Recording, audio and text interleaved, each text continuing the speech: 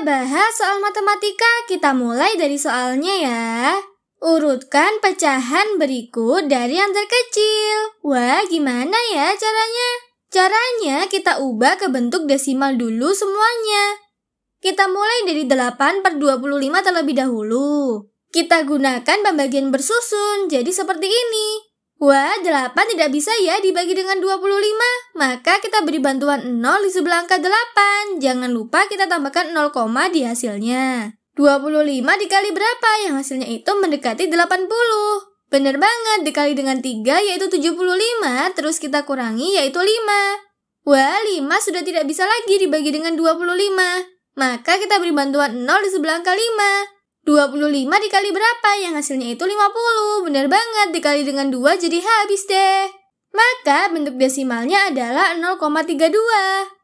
Kemudian yang 25 per 9 25 per 9 itu dapat kita tuliskan 2 ditambah 5 per 9. Nilainya itu sama saja. Kemudian kita buat 5 per 9 di sini menjadi bentuk desimal ya. Kita lakukan dengan cara yang sama seperti tadi. 5 tidak bisa dibagi dengan 9, maka kita beri bantuan 0 di sebelah angka 5 dan jangan lupa kita tambahkan 0, di hasilnya. 9 dikali berapa yang hasilnya itu mendekati 50. Bener banget, dikali dengan 5 yaitu 45, terus kita kurangi yaitu 5. Wah, sudah tidak bisa lagi dibagi dengan 9, maka kita beri bantuan 0 sebelah angka 5. 9 dikali berapa ya hasilnya itu mendekati 50. Benar banget, dikali dengan 5 yaitu 45, terus kita kurangi yaitu 5. Wah, sudah tidak bisa lagi dibagi dengan 9, maka kita beri bantuan 0 sebelah angka 5. 9 dikali berapa yang hasilnya itu mendekati 50. Benar banget, dikali dengan 5 yaitu 45, terus kita kurangi yaitu 5.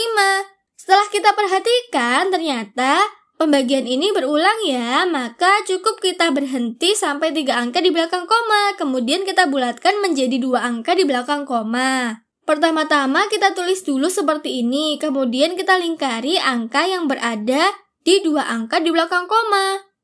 Kemudian kita lihat angka setelahnya itu lebih dari 5 atau sama dengan 5 atau kurang dari 5. Wah, sama dengan 5 ya, maka kita bulatkan ke atas. Caranya, angka yang berada di dalam lingkaran kita tambahkan 1. Kemudian angka setelahnya menjadi 0. Jadi, 2 ditambah 0,56. Kemudian kita jumlahkan. Cara menjumlahkannya kita ubah terlebih dahulu 2 menjadi 2 angka di belakang koma. Jadi 2,00 ya. Ini tidak mengubah nilai, tetap saja hasilnya itu 2. Kemudian kita tambahkan dengan 0,56. Kita jumlahkan seperti biasa karena kita meletakkan tanda komanya secara sejajar seperti ini. Jadi 0 ditambah 6 itu 6, 0 ditambah 5 itu 5, 2 ditambah 0 itu 2, komanya turun. Jadi sama dengan 2,56. Kemudian 1,23 itu sudah desimal. Selanjutnya 2 11 per 25 kita lakukan dengan cara yang tadi. Kita ubah bentuknya menjadi 2 ditambah 11 per 25. Kemudian kita ubah 11 per 25-nya menjadi bentuk desimal. Wah, 11 tidak bisa ya kita bagi dengan 25, maka kita beri bantuan 0 di sebelah angka 1.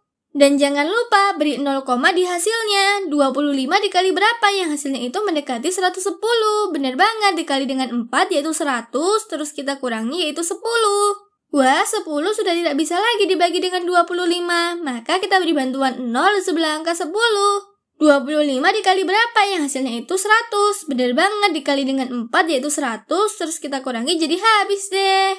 Maka sama dengan 2 ditambah 0,44. Kemudian kita jumlahkan seperti tadi kita ubah duanya menjadi bentuk desimal menjadi 2,00. Hasilnya sama saja tidak mengubah nilai. Kemudian kita jumlahkan 0,44 secara sejajar tanda komanya seperti ini. Kemudian kita jumlahkan seperti biasa, 0 ditambah 4 itu 4, 0 ditambah 4 itu 4, komanya turun, 2 ditambah 0 itu 2. Jadi sama dengan 2,44.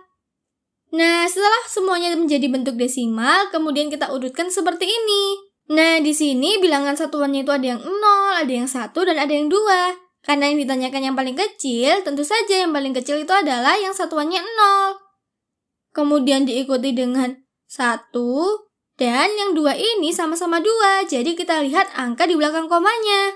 44 dan 56 itu jelas ya, yang paling kecil itu 44. Jadi, yang ketiga adalah 2,44. Kemudian yang paling besar adalah 2,56. Kemudian kita buat dalam bentuk aslinya. 0,32 itu bentuk aslinya adalah 8 per 25. Kemudian diikuti dengan 1,23. Lalu 2,44 itu adalah 2 11 per 25. Dan yang paling besar 2,56 itu adalah 25 per 9. Jadi berikut inilah urutan pecahan dari yang terkecil. Yeay, kita sudah menemukan jawabannya. Gimana? Mudah bukan? Tetap terus semangat belajarnya ya. Sampai jumpa di soal selanjutnya.